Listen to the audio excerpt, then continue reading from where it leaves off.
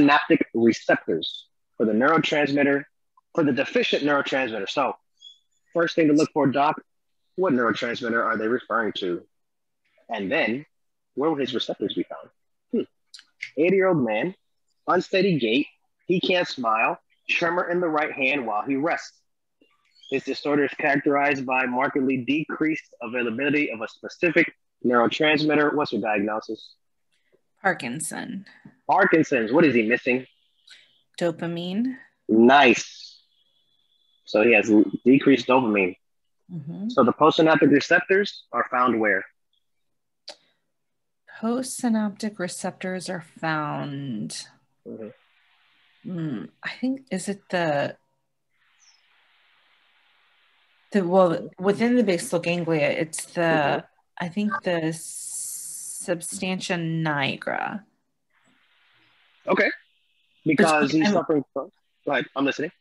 Well, actually, I don't know if I'm confusing substantia nigra with subthalamic nucleus. It's the first one. I, I mean, I can see the picture in first aid. Um, Yeah, I'm between. I'm between those two. Something with an S. I'm not sure which one. Mm. Well, you said substantia nigra or subthalamic nucleus. Now, Doc, what's your gut telling you? You said Parkinson's, right? Mm-hmm. Mhm. So bottom answer D. Okay, cool. Let's try that. Incorrect. Ugh. So my Not gut that one. C. Well, here's the thing, Doc. If you had a gut feeling, then shame on you for going against your gut feeling. Don't you ever do that. If you have a gut feeling, you go for your gut feeling. Now, most people also Ugh. substantia nigra. It is not substantia nigra because that's not the question. The question was, where are the postsynaptic receptors found? Now, if I had asked, where does dopamine come from? That would be the substantia nigra. hmm but the substantia nigra or the dopamine eventually makes it to the striatum. So I'm gonna draw something else, y'all. Here we go. Let me just stop sharing here. I gotta draw, I gotta share my white screen. Here we go. Uh, the whiteboard. Okay, check this out, homie. So we're gonna we're talking about the basal ganglia now. This is very important. This is all basal ganglia. We just kind of put it up here, BG. All right, basal ganglia. And I want you to start here. We're gonna start over here with the thalamus. We're gonna actually Basal gang- You probably. yeah, we're gonna we're talking about the basal ganglia, and we're gonna start off with the thalamus. I want you to write down movement. We're gonna put down movement like this. Then just behind it, you'll put the thalamus.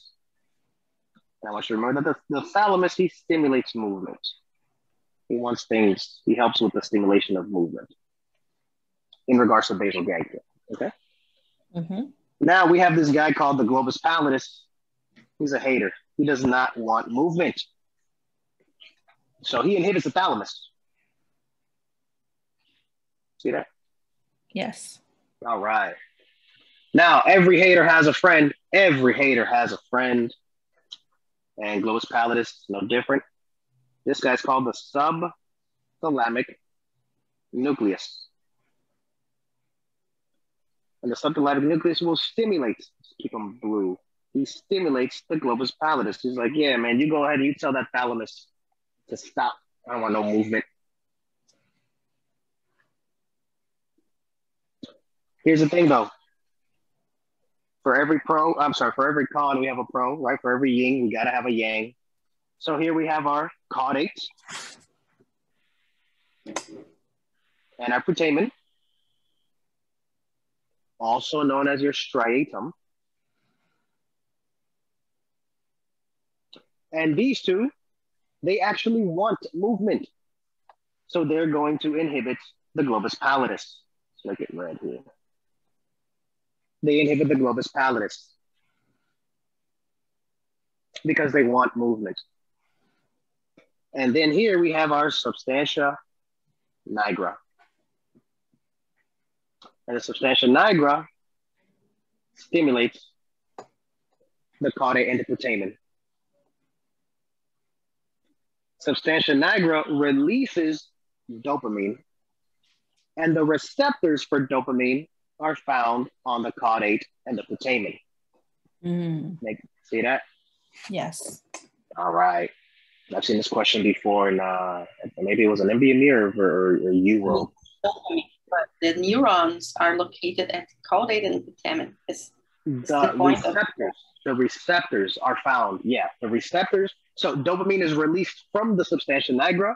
The substantia nigra is lesioned or is damaged or is abnormal in Parkinson's.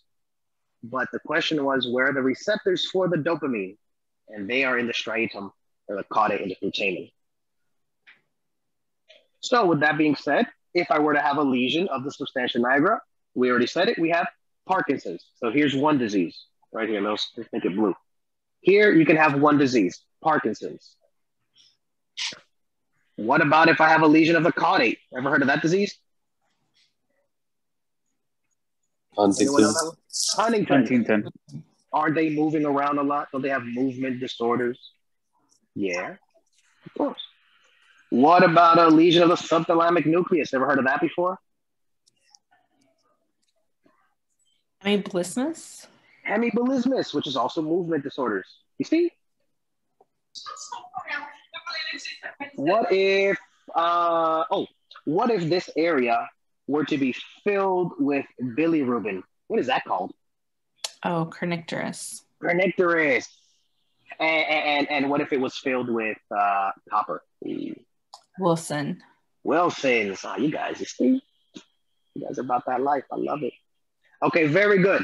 So that was the basal ganglia. That was my concept for that.